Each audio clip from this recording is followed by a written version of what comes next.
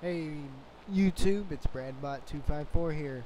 Alright, today I am going to show you the uh, second section of this uh, uh, nine digit combination lock. Okay, so what's going to happen is uh, I'm going to break this into sections because I can't do it all in one video because I only have 10 minutes because I'm a cheap bastard and won't buy anything. So, uh, what we're going to start out with here is your four signals or however many you want. This this can be as long as you want. I'm going to do four. So here's the rule. So after you get your nine digit combination lock built and you have your nine signals out here, you're going to come out to this block, the next block out, dig down once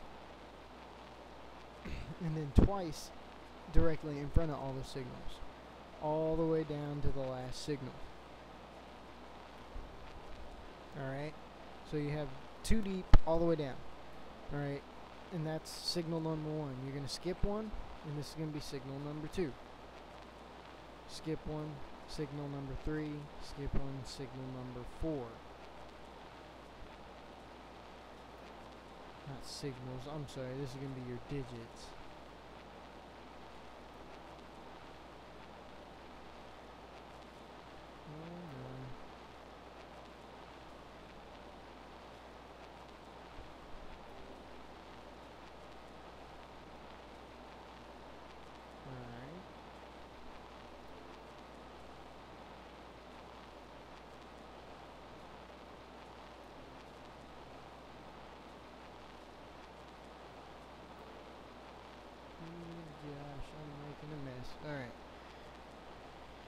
So, after you after you finish that, you have your trenches dug for your four different buttons. This is button number one, button number two, button number three, button number four.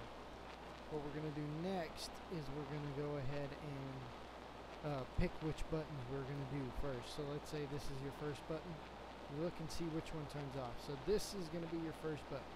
Simple enough, so you're going to put a block in front of your first button. Go down and do the rest the same way. So your second button, let's just say, is this one. Which one turns off? Oh, this one.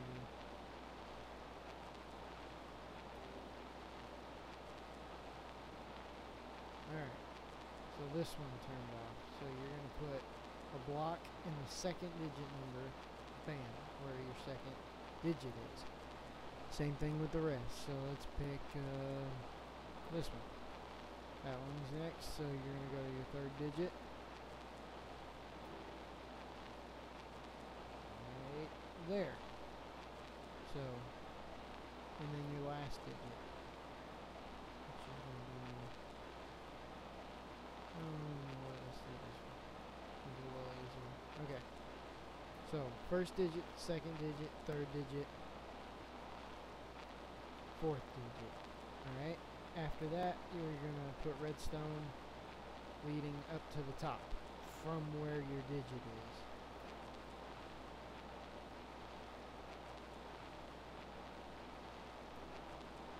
All the way up.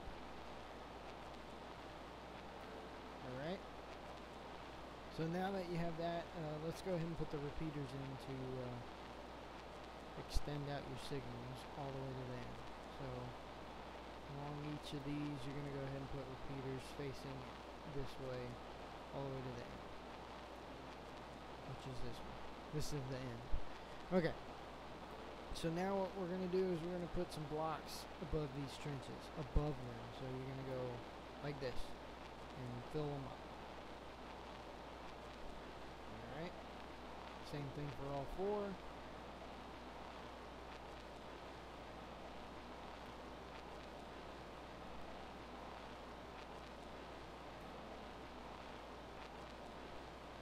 Alright, and then the last one.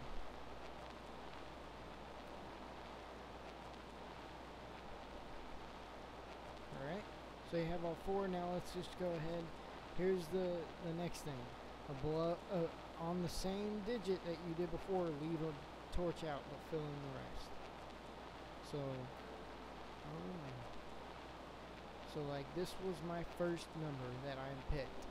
So I'm not going to put a torch above that block. My second number was uh, shit was this one. So I'm not going to put a torch above there. I'm going to put a torch above everywhere else.